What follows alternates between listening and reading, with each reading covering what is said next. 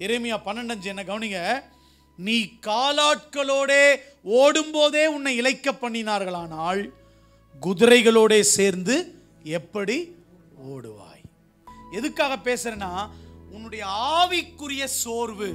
சீ எவ்வளோ லைஃப்பில் எவ்வளோ நான் உண்மையாக இருந்து யாருக்கும் துரோகம் பண்ணாமல் ஹெல்ப் பண்ணி எனக்கு என்னடா நடந்துருச்சு?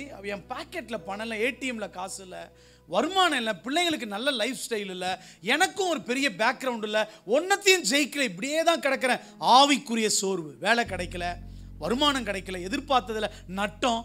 எனக்கு இவ்வளோ பெரிய லாஸ் ஆயிட்டு மணியில் ஆவிக்குரிய சோர்வுக்கு இடம் கொடுக்காது. எலியா அப்படிதான் பவர்ஃபுல்லாக பலிப்பிடத்தை கட்டிட்டு ஒரு பொம்பளைக்காக பயந்து போய் சோர்ந்து போய் எசபேல் பயந்துட்டான் ஆளு. போய் சூறை செடி கீழே போய் உட்காந்து அவர் பாட்டு பாடுறார். போதும் கர்த்தாவே போதும். என் ஆத்துமாவை எடுத்துக்க. ஒரு பொம்பளைக்கு பயந்து. வீட்டில் இருக்கிற எந்த பொம்பளைக்கும் பயப்படாத. ரொம்ப தைரியமா இரு. எல்லாரையும் மதிக்க கற்றுக்க நான் சொல்கிற பாயிண்ட்டு ப்ராக்டிக்கலாக புரிஞ்சுக்க. எல்லாரையும் ஹானர் பண்ணுங்க. நீங்கள் நீயே வாழுங்க. அடிமையாக ஆகக்கூடாது நடிக்கக்கூடாது. ரொம்ப தெளிவாக இருக்கணும். ஆனால் ஒருத்தருக்கும் வாழ்க்கையில் என்ன செய்யக்கூடாது? கடவுளுக்கு மட்டும் பயப்படணும். அதுக்குன்னு ஓனர்கிட்ட போய் யோ போயான்ற போற. வேலையை விட்டு துரத்திடுவான் அவனை நான் ஏன் நீ சொல்லி செய்யணும்? அப்படின்னு சொன்னா போ வெளியே போன்றுவான். நான் சொல்ற அர்த்தம் புரியுதா?